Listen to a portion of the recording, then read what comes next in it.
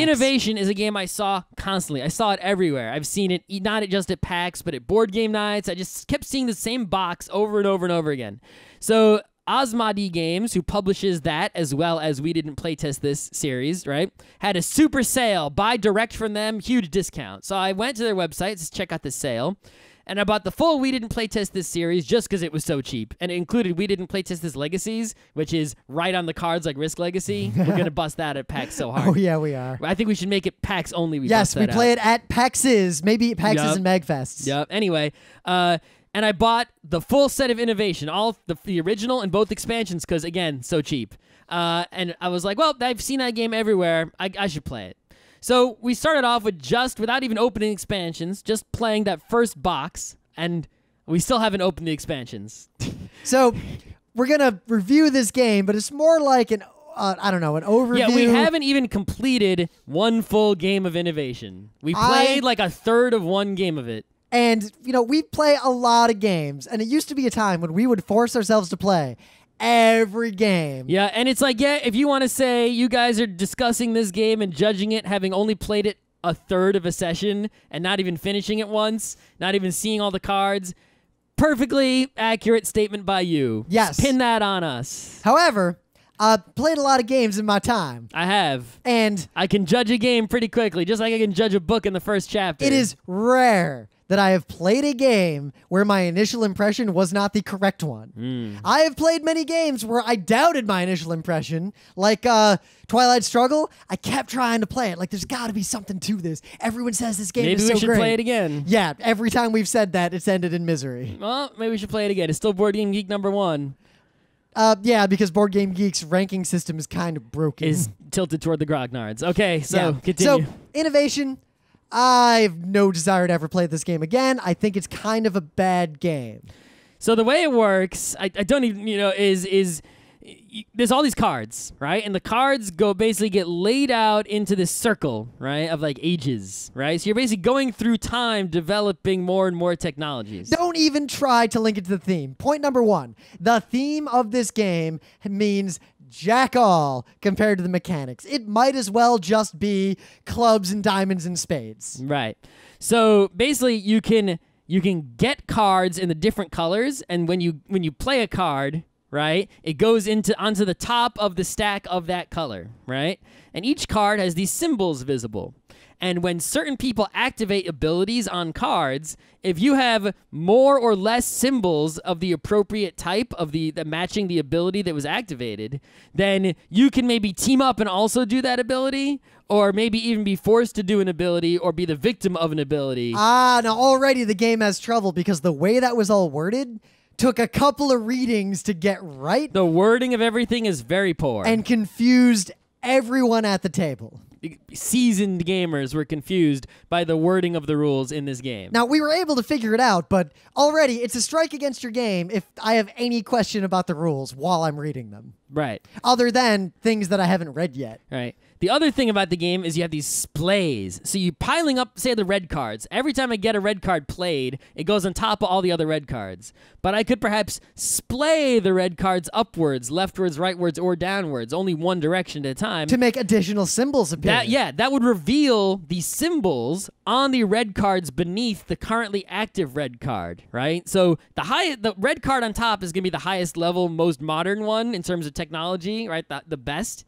But below it are many other ones, and making those symbols appear on the red cards below that top one will greatly increase the likelihood of me not being the victim of abilities activated by other people, and also being able to make other people the victim of abilities I activate, and also being able to team in, team up, and take advantage of uh, ac- ac- uh, abilities other people intentionally activate. Like, oh, you're doing something? I'll get in on that. Look how many symbols I have that match that. Yeah, I'm doing that too. So the problem with all of this is that these mechanics are not intuitive, don't analogize to anything at all in the real world or anything even close to the theme, and they're all so varied. And there's so Yeah. much text of all this crazy bullshit, and so many cards, and so many bonuses, and there's these bonuses. And this is the not expanded version. There are these we bonuses that get triggered, like of the two expansions. like if all these conditions are true, then don't forget to take the bonus card that you yeah, how can you remember all those fucking possible conditions? Like every time someone takes a turn, you have to fucking check all these things to see if you got one of the bonuses. it is literally not worth playing the game unless you have read every single card in the deck and remember them all. Yep.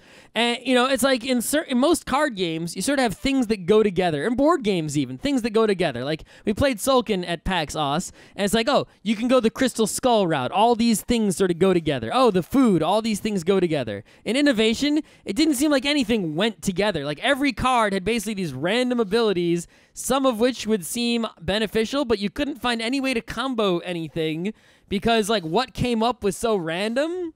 And it's like, you know, Rym played this card that was like, oh, draw until there's no castles. And Scott got to do it before me. I had more castles or I had more symbols basically already out. I think it was the castle symbol. So I also got to do the ability and I got to do it first. So basically, I drew, th- Rym activated this thing, but I basically got lucky and it was just tons of castles and I had all these free cards and I was able to score all of them. And Rym drew the first card and it was like, no castle. Eh. And it's like, well, what the fuck? yep. That was random bullshit. and also, different symbols don't appear in, or different abilities. Yeah, the castles don't appear only in appear levels. in levels one through three, and certain other ones only appear at the end. The game, basically, for a- an early player or a noobish player, has minimal and often counterintuitive directional heuristics and, no zero positional no heuristics. positional heuristic, whatever. You could not tell who was winning, who was losing, or whatever. You couldn't, but directionally, you couldn't tell if doing something was a good or a bad idea unless you'd read all the cards. And even if you've read all the cards, you would the game would take forever to play if you were actually trying to win. So I think the people who play this game and like it are not trying to win with all of their They're ability. just like, oh my god, look at all this random stuff. Woo! Because if you're trying to win this game, you have to check on conditions and read everything on the board regularly. Hmm. And the game you is not. count everyone's number of exposed symbols every time you're about to make an and there's action. a lot of symbols. Yeah, there's no way you could decide what to do during other people's turns either because during their turns they get symbols. So it gets to your turn, the guy to your right just played some cards, giving him more symbols, and so did other people too because they maybe joined in on the action.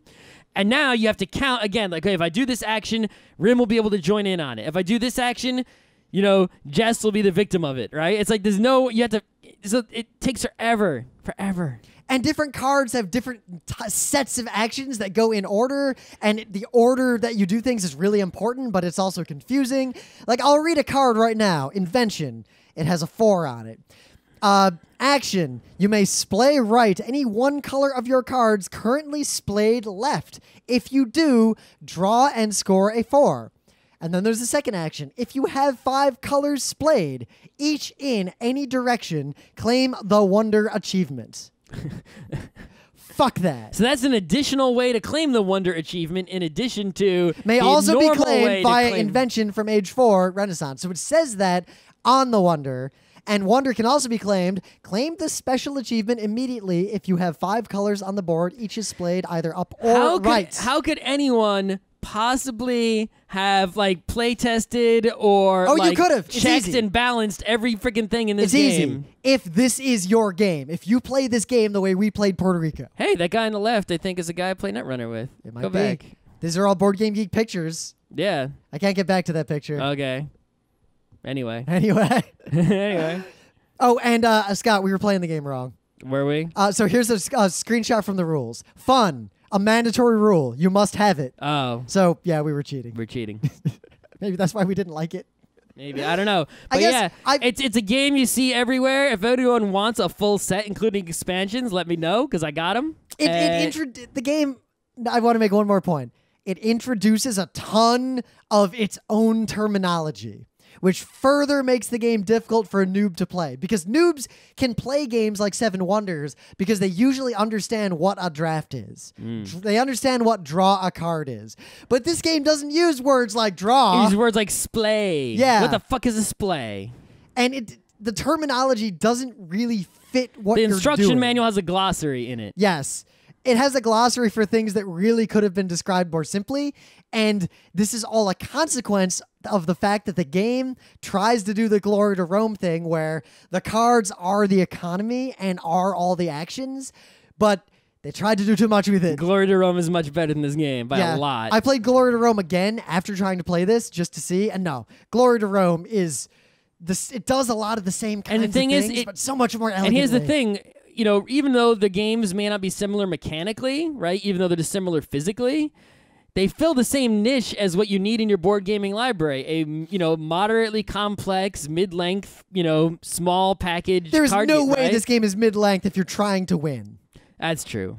But I'm just saying, is you know, Can you it, it imagine it fills the this? same niche in a board gamer's library of owned games. So if you have Glory to Rome, or I guess Uchronia is right, you don't need this. Can you imagine playing this game with someone who doesn't take the turn?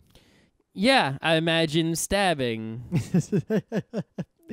So I'm gonna say don't bother with innovation. If you like it, I'd really like to hear why. yeah, uh, maybe we just misunderstand this game. Yeah, tell us. Tell us. I implore you. Tell us why we're wrong. Tell us why we should play this game again rather than just immediately getting rid of it, having not even finished one game. Okay.